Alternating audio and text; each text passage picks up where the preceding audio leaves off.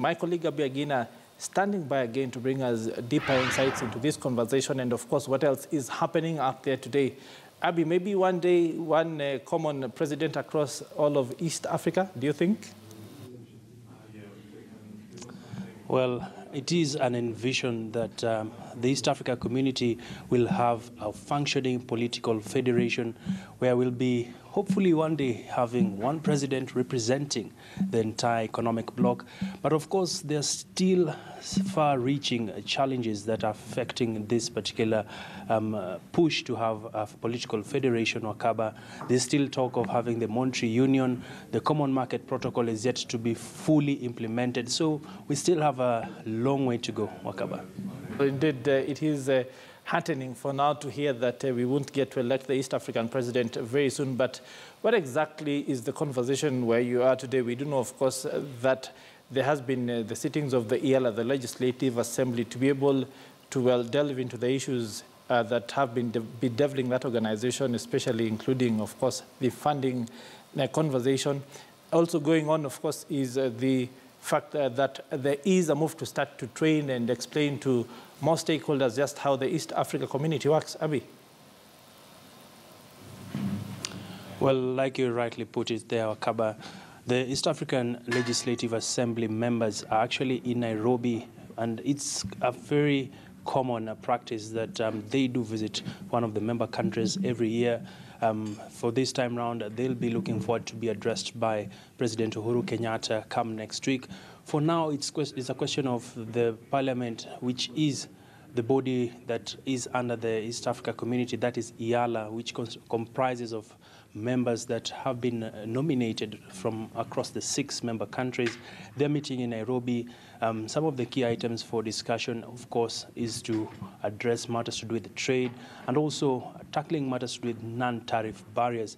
But more interestingly, one of the biggest undoings that has continued to plague the region is the limited knowledge of the media in, when it comes to doing in-depth reporting. And um, right now I'm at the Hilton Hotel where there is the East Africa Community Media Training. But we want to just uh, take some insights from one of the key uh, facilitators of this event, that is David Ohito, who is now joining us live here from the Hilton Hotel. Perhaps um, um, Mr. Ohito, digital editor for Standard Media, um, what stands out for you in this EALA visit by the members? Uh, thank you uh, for having me on this.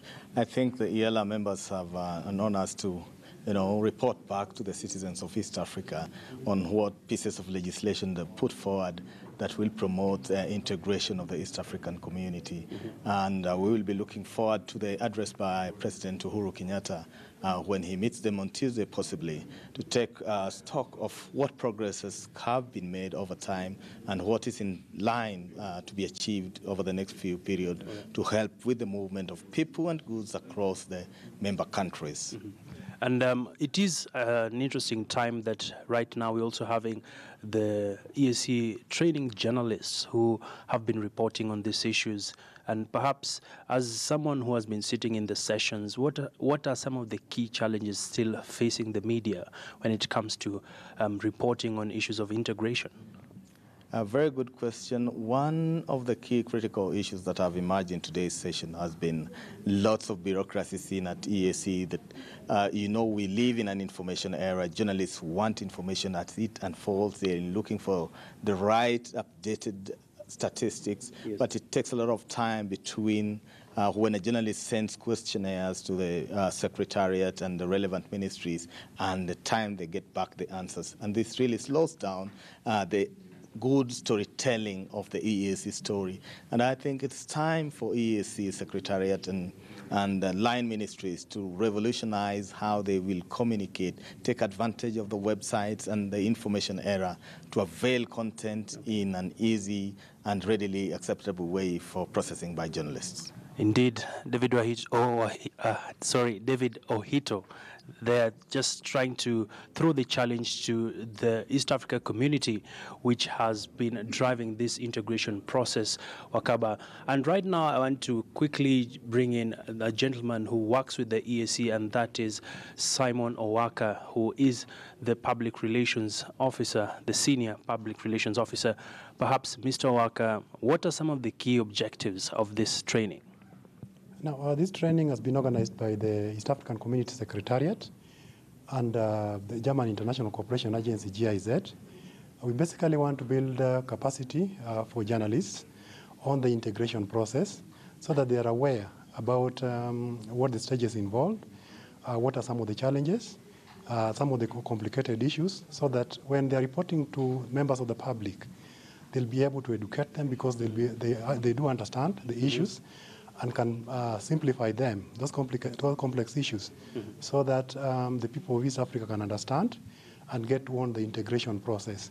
So we want uh, uh, to build focal, focal journalists okay. on the EAC integration uh, within media houses all over East Africa. All right. So we have started with around five journalists from uh, five countries, namely Burundi, Kenya, Rwanda, Tanzania, and the Republic of Uganda.